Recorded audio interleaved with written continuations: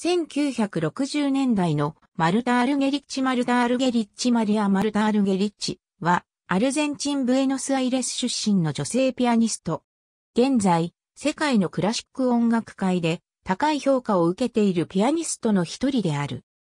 アルゲリッチの読み方については、アルゲリッチが普通であるが、アルゲリッチの母国であるアルゼンチンがスペイン語を公用語としていることから、その読み方でアルヘリッチ、アルヘリチなどとも表記される。また、日本ではドイツ語読みで、アルゲリッヒ、アルゲリヒと表記されていた時期もある。アルゲリッチ自身は来日時のインタビューでどちらの呼び方が正しいのかよく聞かれるが、自分の先祖はスペインのカタルーニャ地方出身で、カタルーニャ語の読み方ではアルジェリークになる。しかし、自分としてはアルゲリッチが気に入っているので、これに決めているという趣旨の発言を行っている。映画、アルゲリッチ私こそ、音楽。では、サンジョのステファニーが、自らの名字を、アルゲリッシと発音している。アルゲリッチという名字は珍しく、バルセロナに一族がいると言われるほか、クロアチアのアルゲリッチという村に、ルーツがあるとの説もある。ブエノスアイレスの中産階級に生まれた。父、フアン・マヌエル・アルゲリッチは、経済学教授や会計士を務め、その祖先は18世紀にスペインのカタロニア地方からアルゼンチンへ移住しており、アルゲリッチはカタロニア由来の姓である。母フアニータはベラルーシからのユダヤ系移民の2世だが、ユダヤ教からプロテスタントに改宗していた。保育園時代に同じ組の男の子から、どうせピアノは弾けないよねと挑発された際、やすやすと弾きこなしたことがきっかけで才能を見出され、2歳8ヶ月からピアノを弾き始める。5歳の時にアルゼンチンの名教師、ヴィンチェンツォ・スカラムッツァにピアノを学び始める。1949年、公開の場で、ベートーベンのピアノ競争曲第1番波長長作品15を演奏した。翌1950年には、モーツァルトのピアノ競争曲に単調計466とバッハのフランス組曲と長調 BWV816 を演奏した。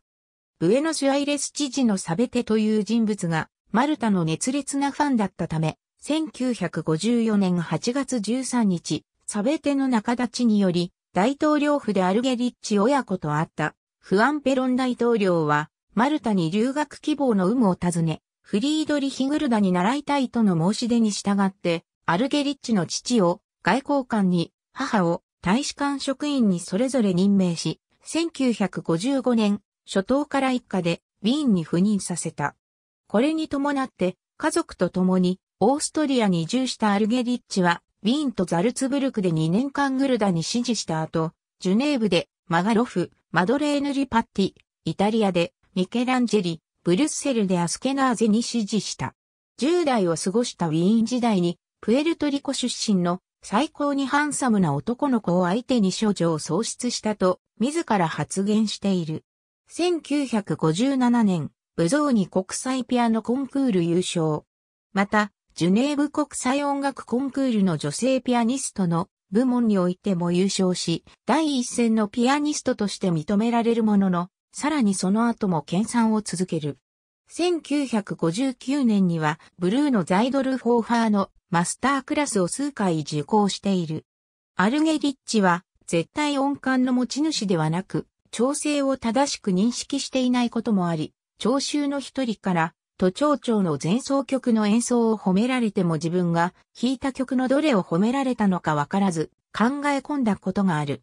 1960年、ドイツグラモフォンからデビューレコードをリリースする。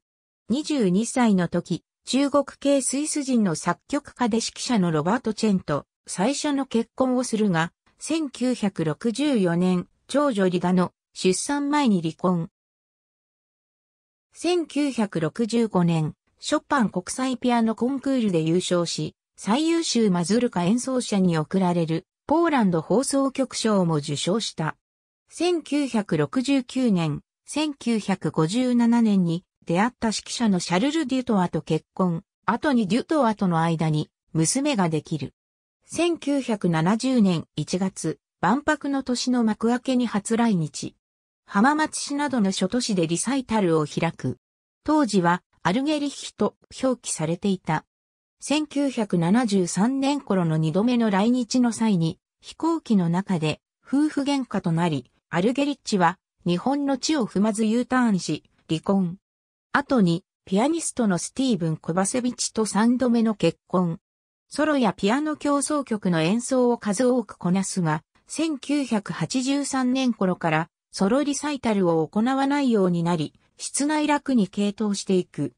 バイオリニストのギドン・クレーメル、イブリー・ギトリス、ルッチエーロ・リッチ、チェリストのロストロポービチ、マイスキーなど世界第一級の弦楽奏者との演奏も歴史的価値を認められている。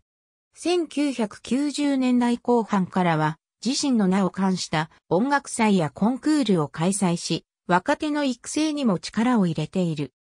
1998年からベップアルゲリッチ音楽祭、1999年からブエノスアイレスにてマルタ・アルゲリッチ国際ピアノコンクール、2001年からブエノスアイレス・マルタ・アルゲリッチ音楽祭、2002年からルガーノにてマルタ・アルゲリッチプロジェクトを開催している。受賞歴にはフランス政府芸術文化勲章をフィシェ、ローマサンタチチーリア協会員、グラミー賞、ミュージカルアメリカ史、ミュージシャンオブザイヤー、第17回、高松宮殿下記念世界文化賞、朝日小受賞、朝日中受賞などがある。第一に挙げられるのは、ライブでも録音でも極度にテンポが速いということである。しかし、打鍵は極めて強く正確で、リズム感が抜群である。レパートリーはバロック音楽から古典派、ロマン派、印象派、現代音楽まで非常に幅広い。